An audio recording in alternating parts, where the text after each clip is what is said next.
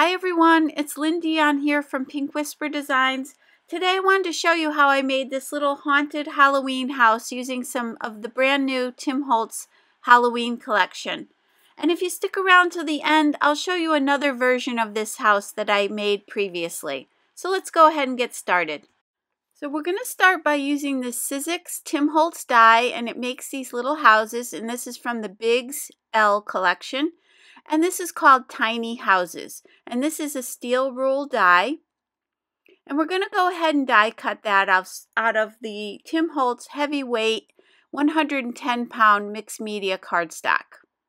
So I've gone ahead and die cut the pieces and you need two of those panels with the peaks for the houses on them. And then I'm going to take this brand new paper pack called Abandoned and this is from the idea-ology collection. And we're going to use this piece here, which I just think is absolutely gorgeous. So what I like to do is just add my decorative paper to the house.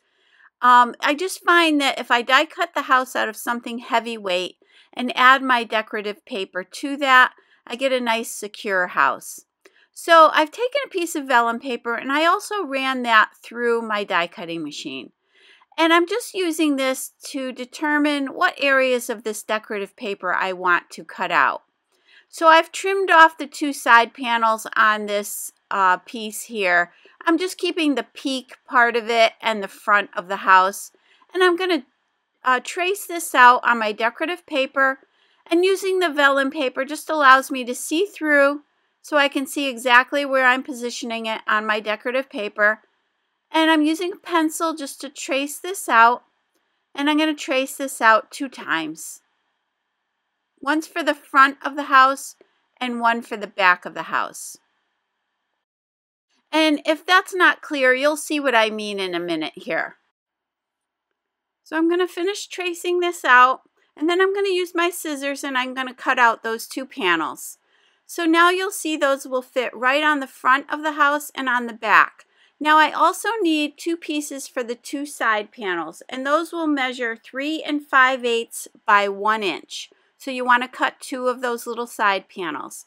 Now for the roof, I'm going to be using the back side of that paper that we just used. So I'm flipping it over and I'm just going to cut it to the exact size of the roof. And that panel measures one and a quarter inches by five inches. So I'm going to fold that in half on the score line and press that out. So I'm folding both pieces and then that piece of paper is going to fit right over the other one there. So now I can take my house and I can finish this up here. I'm going to press out these score lines. So I'm just folding on each of the score lines. And this is going to form the shape of the house here. So you can see how that's going to go together now. Now I'm going to take my Distress Oxide ink. So I've gone ahead and I attached those panels to my house and to the roof. But I noticed there was a lot of white showing or the creamy color showing. So I'm taking the Distress Oxide Black Soot ink and I'm using my foam applicator tool and I'm just going to go around all the edges of this house and just take that kind of creamy color away. And it'll give it a little bit more of an aged effect as well. So now using these little uh, witches here, these are from the Paper Dolls Halloween collection. This is the idea-ology collection. And I just love these two little witches here. So what I'm going to do is uh, take this, my black pen, and I'm just going to go all around the edges of that die just to take that white edge away. Now I'm using the Gina K foam squares to pop this up on the front of my house. And I'm also going to cut this down a little bit because obviously it's a little too tall for the house. So I'm going to flip this over and just draw a pencil line there and take, use my scissors to cut away that excess. And then I'm going to continue putting the foam squares here. So I'm removing the backing from all of those little foam squares and I'm going to attach this lining it up at the bottom there of the front panel of my house and sticking it down. And I just love that. So just a little bit more of the foam applicator at the bottom. Now I'm going to use my score tape, and this is the 1 quarter inch score tape. I'm going to place that on each of these two side tabs.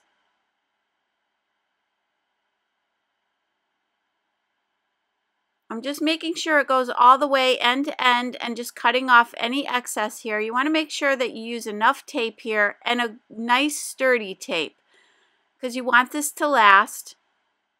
And now I'm going to line these two up, making sure they're nice and straight and the bottoms are lined up. And then I'm going to attach these two panels together.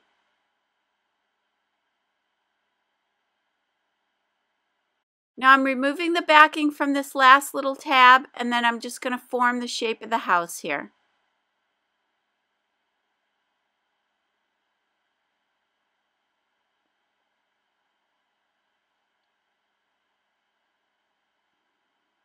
And you can see there that we have the basic shape of the house. And our roof is going to sit right on top there. So I'm going to be using my multi-medium matte. And this is a clear glue and I'm going to put some little beads of glue all the way around the top of that house. And although it looks like it wouldn't really hold it, it really does. This is a heavyweight glue. It's going to hold this in place. Just want to make sure you carefully just put dots of it all along the roof line there. And then I'm going to just place that panel on the top of that and just position it. Just slide it around a little bit till you get it exactly where you want it. And then you will have to hold it for a minute or two here just to make sure that it's dry. So now I'm going to go on to the die cut. This is the Thinlits Sizzix Gothic Gate. And I've gone ahead and die cut that out of 100 pound black cardstock. And then from this Sizzix Thinlits die, I'm going to be die cutting the spider web, also out of the black 100 pound cardstock. And then I did go ahead and die cut these little bats, which in the end I did not use, but I thought I might use them. And they both came from the Mixed Media Halloween die set. So now that I've got my roof line is dry, I'm going to slide that little spider web right up into that peak of the house on the back side. And it's way too big, so I'm just going to cut it down to the size that I want. And that looks pretty good there. So I'm going to go back to my multimedia glue and I'm just going to attach that together.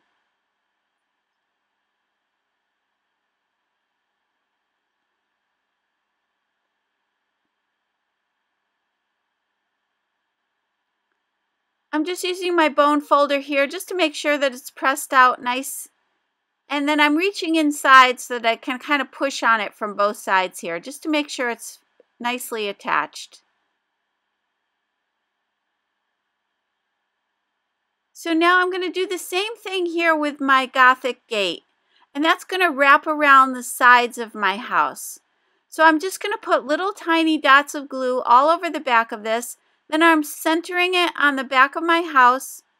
I'm pressing that down and then I'm just going to kind of push these two sides around the edge here using my bone folder again just to press from the inside to the outside. And then I'm just going to kind of with my fingers here just press this down into place. And then I'm going to do the same exact thing for the other side here, just pressing this down. So there you can see that looks really good. I love how that looks. So now I want to add a word band from the Halloween collection. And this one here that I chose says Spells and Fortunes. And then we're also going to be using the Halloween trimmings in the black and orange. So I'm going to take this cording and I'm just going to loop it through so that it runs along the back side of the word band here. So I'm just sliding it through. And I'm just going to center it And then I'm just going to wrap it around to the front here and tie a knot. And that's just going to secure it in place. Then once I have that tied, I'm just going to cut away that excess. I'm just going to trim that down. Now you can see how cute that is. So now I'm going to set that aside and I'm going to grab the frames. These are the vignette frames and you get four frames in a pack and I'm going to take that second largest one. I'm also going to be using the distressed paint from Tim Holtz in the black soot and this is an acrylic paint and I'm going to go ahead and paint this entire frame. Now the reason I'm painting this frame is I'm going to be using it as the base for my house. Now I'm going to touch this up with a little bit of rusty hinge and I'm just patting a little bit on my glass mat and I'm using my finger just to kind of pat it on here. So I did let that black paint completely dry before I started patting on this color here.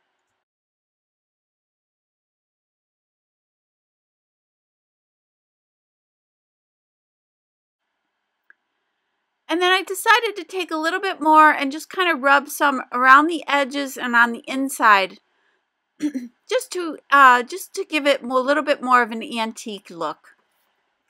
So you can see that up close there. So now I'm going back to the abandoned paper pack and I'm going to take this green, this beautiful like mossy green color. And that's going to be the base or the ground that for our house. So I just selected one little area of that and I just love how that looks. I just like that just by itself. But we are going to be doing some more with it. So I'm going to take my quarter inch score tape. So I attached that tape all around all four sides of my frame and I'm going to remove the backing and attach this panel. And this panel measures four and a half by three and a quarter. And then I decided that it just wasn't quite thick enough. So I'm adding another panel in the same exact size in a black 100 pound cardstock. And that's just going to give it a little bit more uh, security here. Just be a little bit thicker on the base. So now that I have that all set, I'm going to go ahead and attach my house. So what I want to do is add a bead of glue along the back side of the house because I'm going to be pressing it right up against that frame there. And then I'm also going to add some glue all around the bottom of the house as well. Just like we did for the roof, just some little beads of glue all the way around the bottom here. And then again, I'm going to slide it up towards the back of that frame because there is a little lip there that I can attach that to. And then I'm going to let that sit and dry. And that will take a little while to dry and you do want to hold it for a little while as well. So now I'm going to use the, the tombstones from Tim Holtz and again from the idea-ology collection. And I'm just going to place one of those tombstones right here in the front of the house. Again, attaching it with my Ranger Multi-Medium Matte Glue. And again, you want to hold these pieces to make sure that they set. So it does take a few minutes here. And then I'm going to grab one of the metal gates and I'm going to add some adhesive. And again, I have that nice lip on the frame here that I can attach this to. So I'm going to add some beads of glue right along the bottom of this fence, just about up to the height of that frame. So I don't need much, maybe about a half inch here. And then right along the bottom of the fence as well. And then again, I'm going to press that into place and I'm going to hold this for a little while here to make sure that everything is secure. So next I wanted to show you how I made the flowers for the top of the house. I'm using my Strathmore Bristol Smooth 100 pound cardstock and I've got everything placed in my color catcher here. And I'm using Twisted Citron and Mowed Lawn from the Distress Oxide Sprays. And I'm just going to spritz these colors on. I'm starting with my lightest color and you do want to make sure you clean the nozzle on these really well when you're done using them. So take a baby wipe and just clean that nozzle off. And you want to shake them really well before you use them. And then what I did was I applied the two colors and I spritzed it with just a little bit of water from my Distress sprayer. But you'll see later that I come back to that again. So now for my second set of colors, I'm using fossilized amber and abandoned coral. And again, starting with the lighter color and then adding a little bit of that darker color. And here what I decided to do was spritz it with some additional water. And I stopped there and then I decided what I really wanted to do was get this nice and wet so that all those colors would blend together and that they would oxidize a little bit to give me more of that chalky finish. So that's where I went back to the green paper and decided to do the same thing. Just give it a little bit more uh, spritz of water. So now using peeled paint and fossilized amber, I'm going to do the same exact thing. And these, all of these little pieces of paper here are going to create the foliage and the flowers. And now I decided to add a little bit of this darker color, the forest moss here, just to add a little bit more color. Now I've got abandoned coral, fossilized amber, and spiced marmalade. And I'm going to use these three colors to create a background. So what you want to do is just create a whole bunch of different backgrounds to die cut your flowers and your leaves and anything else that you that you want to add to your little uh, floral arrangement here. So again, I'm going to let those colors blend together. And then I didn't want to let all this ink go to waste. So I spritzed it with a little bit of water. That's my uh, Ranger mat underneath there. So I'm going to spray it with a little bit of water and then take some additional scraps of paper here and just pick up those colors.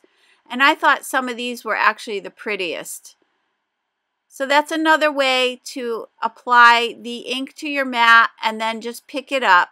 And again, I just didn't want to waste all of that color. And the next one here is the walnut stain, and that's going to be for some of the branches that we'll be creating.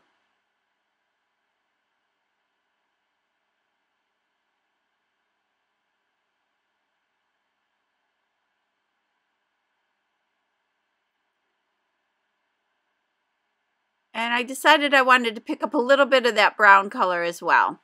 So now I'm going to let those set and dry. While I do that, I'm going to take the Sizzix Thinlits dies here. These again are Tim Holtz. And I'm going to be using the Funky Foliage set. So what, here are all those papers that have dried now. And you can see how cool all these different colors are. So we get a nice mix of light and dark. So we've got some greens there for the foliage, some yellows and oranges for our uh, flowers, and then some brown there for the branches. So I've grabbed all of those dies and I'm just going to start running these through and die cutting all of these little flowers. And you can see here all the little pieces that I have. And I've got lots of leftovers for some future projects. So I'm just going to put those in a little bin for later. So now I'm going to grab some Distress ink here. This is the Gathered Twigs. And I'm just going to give the a little bit of an antique aged look to each of these flowers. So I'm just going to kind of rub that all around the edges. And you can see when I assembled all these flowers how cute and whimsical they are. But we're going to give them a little bit more of an aged, antique kind of look. Just for our kind of spooky house. So that's why I'm adding the brown to all the edges of all these little flowers here. And all the branches and foliage as well. So now I just want to give a little bit of shape to my flower. So I'm using my Sizzix sculpting mat and a couple of the sculpting tools and I will give you all the information for all of these products down below. Um, this set of tools does come with quite a few little pieces to it. And then I'm just pressing down, kind of pressing on each of the little petals there, and then pressing in the center. And for these smaller ones, all I have to do is press down in the center. This one here, again, I'm just using that, that ball tip just to kind of press those little petals up. And then for the leaves, I'm using that kind of pointy end and I'm just pressing down the center of each of these leaves just to give them a little bit of dimension there. And it sort of creates a little vein down the center. I'm going to do the same thing for these leaves here. So now I can go ahead and attach my leaves to these branches. And I'm just going to attach them with some Nuvo Deluxe Adhesive. Just putting a little bit of glue on the ends of each of the branches here and just adding my leaves.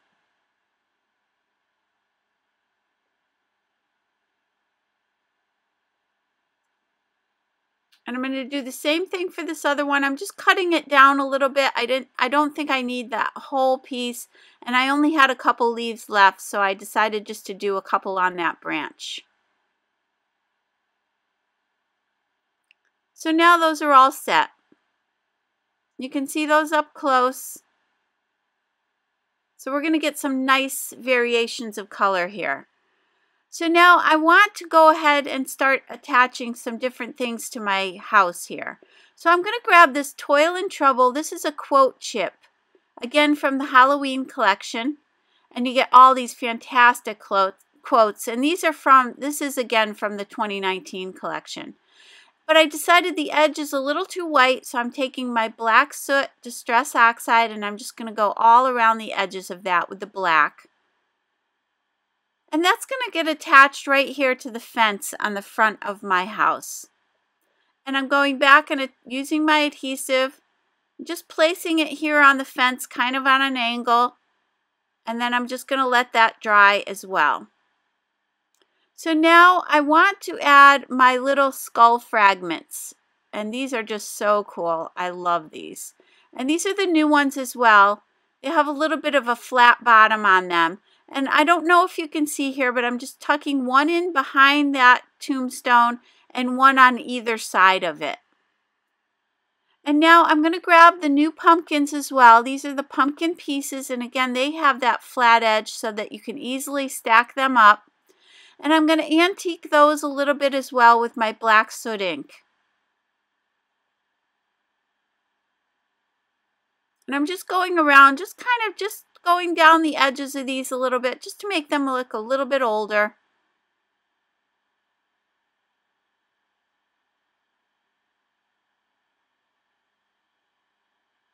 And now those are going to get stacked up in the front of my house off towards the right hand side here.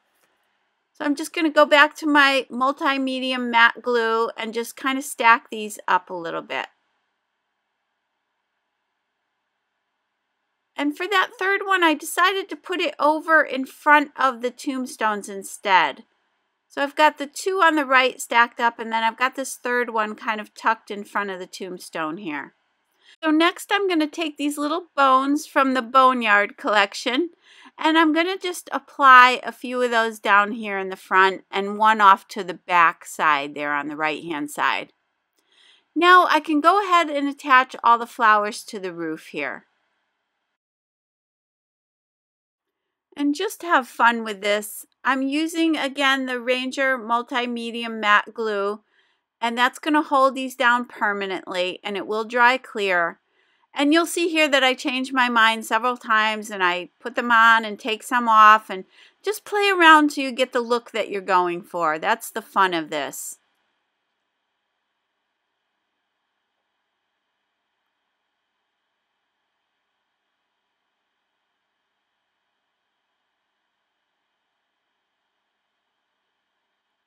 I couldn't really decide where I wanted that, so I set it aside for now.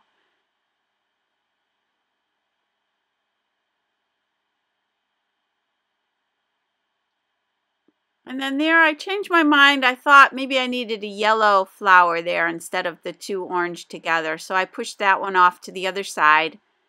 So again, just have fun playing around with this.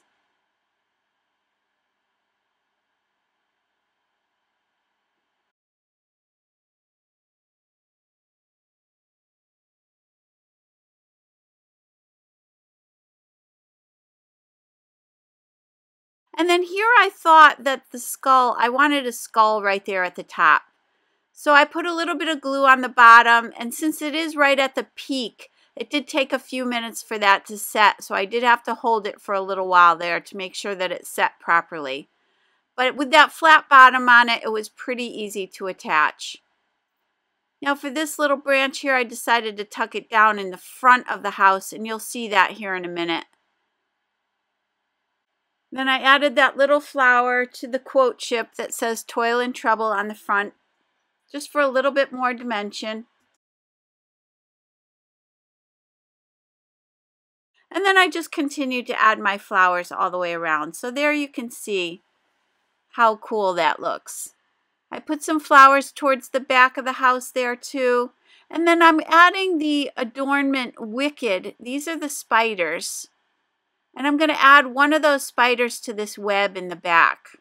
At first I was going to tuck it up there in the corner, but then when I went to glue it on, for some reason I just changed my mind and slid it down towards the bottom of the web.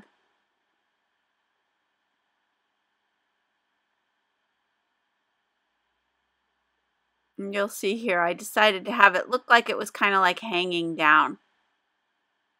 And again, just pressing that into place and hold these for a minute. It does take a little while to dry. Now I'm going to grab the new Bitty Bats. And these are just so cool. So there's where you see I was going to use those bats from the die cut and change my mind. I decided I wanted something a little more three-dimensional. So I'm going to add these few one to that little uh, tombstone and then one to the roof of the house there. And then a third one to the right side of the house as well. And here you can see all the detail we have. I just love these two witches. And there's where I added that little branch. I just kind of folded it down towards the front of the house there. So we've got this great fun scene. So just have a blast with this. I did. It's just so much fun. You can add anything you want to these. And try to use things that you already have. You know, if you have things in your collection, I know if you're like me, you've been collecting things forever. So this is a fun time just to pull out all those little goodies and start attaching them here. So you can see on the back I added a few little leaves there too, just above that word band just to bring that color all the way around to the back. Now I want to show you another one that I did. This one I die cut a hole from the middle and then I took the owl, which was in one of the previous collections, one of the paper collections. And I tucked him in behind there, kind of to give it like a three-dimensional look. I used the same fence and then I created a little word banner with the word boo on it and there are those bats that we die cut earlier on this one. And for the flowers, I die cut those out of the pattern paper instead and just attach those together. So there's another example, and that's a little bit of a simpler version of this one. I did not put it on a base. I just left it separate and it stands up perfectly fine. So I hope you enjoyed today's video. If you did, please hit the like button and subscribe. And don't forget to visit me at pinkwhisperdesigns.com. Again, thank you so much and have a great day. Bye-bye.